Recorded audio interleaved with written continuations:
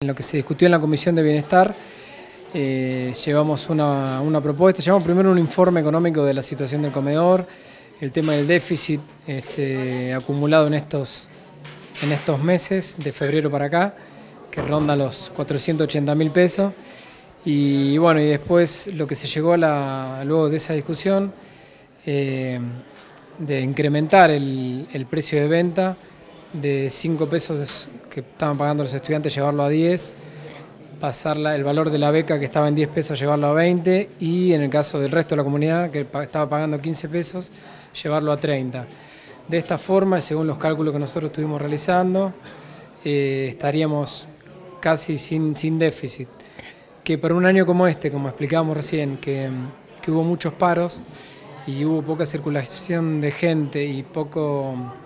poca compra del, resto de las cosas que vende, el, eh, que vende el comedor, como son las minutas, las gaseosas y todo, todos los anexos,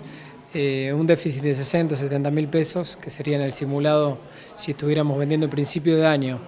a este monto, nos parece un, un buen número. Así que bueno, eso fue lo que propusimos la comisión y bueno, fue lo que termina decidiendo el Consejo. ¿En qué términos se ha dado la discusión de este tema que se sabe siempre es algo sensible por lo que representa un aumento del menú, pero ante este contexto nacional era, por cierto, necesario? Sí, bueno, como, como lo dijimos acá en el Consejo, es algo que no, no, es muy, no es muy lindo discutir un incremento de cualquier tipo y de cualquier monto. Eh, pero bueno, hacía, como lo, como lo vimos, hacía tres años que no se tocaba el precio de venta y bueno, ya eh, nos hacía imposible mantener o la calidad o la cantidad o ambas. Entonces, bueno, antes de, un problema mayor decidimos presentarlo a la comisión y bueno, y en ese marco fue que se tomó la decisión. Como decíamos, eh, pensamos que sigue siendo un precio muy accesible, 10 pesos para los estudiantes, y teniendo en cuenta sobre todo que la universidad ya está becando a más de mil personas, 1.200 personas, eh, bueno, que aquellos que no tienen con los eh, que no tienen los medios para poder estudiar están teniendo, por fuera de los 10 pesos, están teniendo un montón de beneficios, como es la beca de ayuda económica, de comedor y de, y de residencias. Incluso aquellos estudiantes que por cuestiones académicas no llegan a mantener la beca, se le está asistiendo también con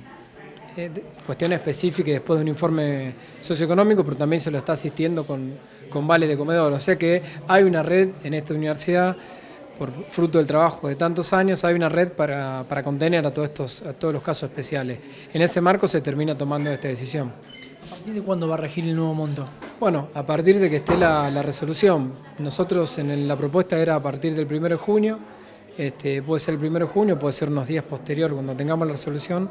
se va a incrementar y bueno, ya lo vamos a informar oportunamente.